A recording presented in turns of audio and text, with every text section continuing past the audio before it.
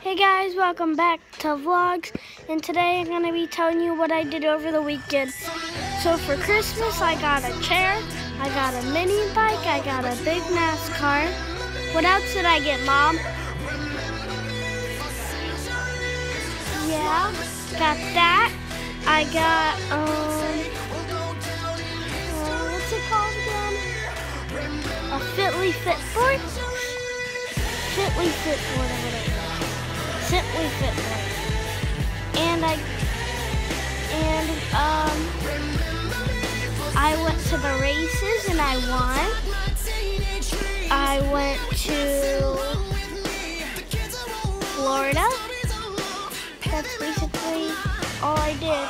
So that's the end of this vlog.